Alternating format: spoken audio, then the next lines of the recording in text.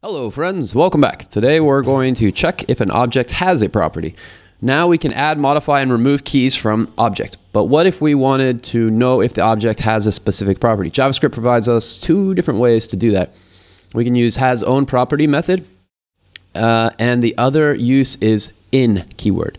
If we have an object users with a property of Alan, we could check for its presence in either of the following ways. Users has own property of Alan. This should return true. And then Alan in users. Cool. This one's uh, going to render true as well. We've created an object users with some users in it and a function is everyone here. So here we've got your users. Each inside of the object, there is another object with Alan, Jeff, Sarah, and Ryan. It has their age and whether or not they're online. Um, is every and then so our function is everyone here. See, I like this function name because it actually describes what it says. It's like if you pass in the object of the users, it's going to check is everyone here. So that's a good uh, or this is a, a nice um, name for a function. Uh, we want to finish writing the function so that it returns true only if the user's objects contains all four names and as keys all four names Alan, Jeff, Sarah, and Ryan as keys, and false otherwise. Uh, the user's object should only contain the keys Alan, Jeff, Sarah, and Ryan. The function is everyone here should return true if Alan, Jeff, Sarah, and Ryan are properties on the user's object. Okay, so the first thing that I want to do is I want to know what everyone is. So I'm going to say let everyone be equal to a, yeah, an array. Alan, Jeff, Sarah, Ryan. One, two, three, four. One, two, three, four. Okay, so everyone is equal to this. Um, I mean, a really easy way to do this would be to say um,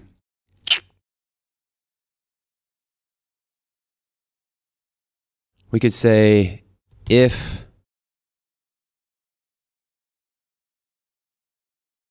um, users dot has own property um,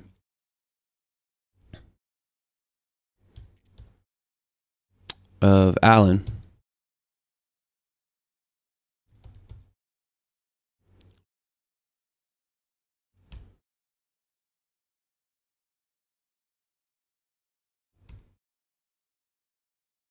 Hmm. User set has own property outlet. Actually, we could do a loop here. Okay, so we could do a loop next. Um, so we could say for variable, let's say we'll let i equal zero. i is less than everyone. Dot length. i plus equals one. Okay, so now we're loop, looping through here. I were to console.log out, um, everyone at position I,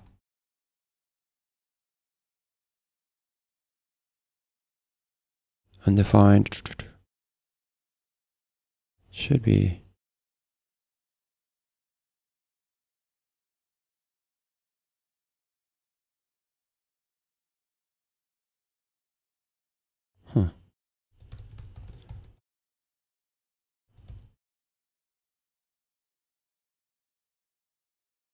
Oh, I see what's going on. L E N G T H. Okay, so now what we're doing is we've got an array and we're iterating through. So with each one, we can say, um, uh, what's it? Is it student? Is it? Yeah. Let's call it uh, student. We can set this one equal to, we let the student be equal to everyone at position I. And so now if we just console log out student, we're printing out uh, Alan, Jeff, Sarah, and Ryan. And so now we could say if um, we want to use, we could say if um, users dot has own property of that student and we say if that is equal to false then we want to return false and um, cool i'm going to get rid of this console log now so we're going through so basically if if at any point when we're iterating over the users array we're going Alan, Jeff, Sarah, Ryan. If that returns false ever, then we want we're, we're going to have our function return false. Otherwise, we just want it to return true at the end. So right now, is everyone here with the users? Um, this is returning true, as you can see. But we should return false if Jeff is not a property on the object. So let's say if we just comment out this Jeff line, now it's returning false because it's returning false because Jeff is there. Um, yeah, and so I think that this will pass the tests. Um, let's see. Yeah, so I'm just going to go over this one more time. We've got our users object. In this thing, we first off set a list of everyone. So everyone in, in this um, we're checking for is an Alan, Jeff, Sarah, and Ryan. This is an, an array. And so we're iterating through the array. We're setting i at zero, and then i is less than the um, length one, two, three, four. So i is currently zero, i is less than four, so we continue and we iterate through. So the first thing, i is zero, everyone, the student becomes equal to Alan. And then we're going, if the users has that own property of the student, which is Alan, so if in the user's object, Alan is on the property, well, that's going to return true. And because that's not equal to false, we skip this part. And now we keep going through that. We do the same thing. Now i is equal to 1. i is less than um, uh, 4. So we go through again. Um, now everyone at position 1 is equal to Jeff. So student is equal to Jeff. And then we say, does the user's object have Jeff as the property? It does in our example because, um, and therefore this renders out this whole thing. This becomes true this guy becomes true.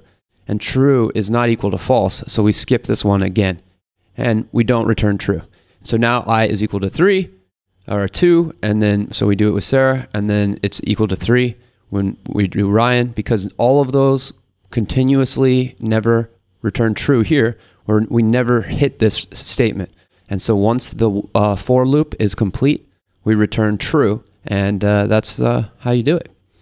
Um, I'm sure there's some other, there's a lot of other ways that I think that this one could be done, but this is just the way that I think makes the most sense for uh, young programmers who are uh, currently learning. Anyways, hope you guys enjoyed this one, and we'll see you in the next lesson.